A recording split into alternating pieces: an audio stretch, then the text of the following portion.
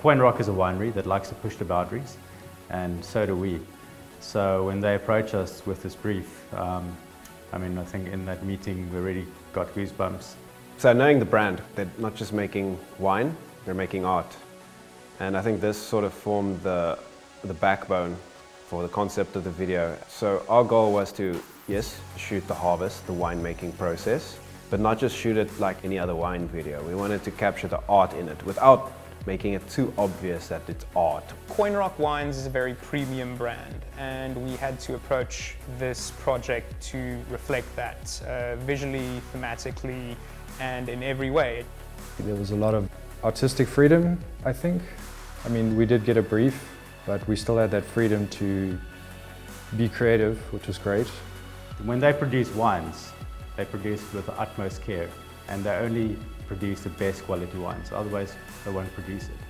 We really like that mentality, so we had to craft our video so it reflects that. Every single bottle that comes out of the Quoin Rock Winery is, in essence, a piece of art. And every single person that plays a role into producing that wine is an artist.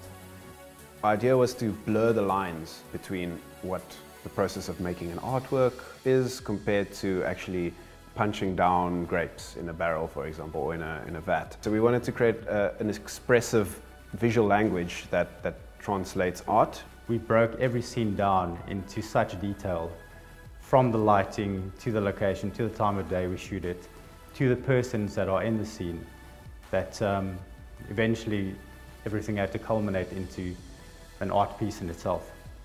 I think what we, what we managed to do is glorify the small processes of winemaking and, and showing that also everyone involved in winemaking is critical to the outcome of it. We're showing their skill sets, we're showing their tools, uh, what they use to make their artworks within the wines.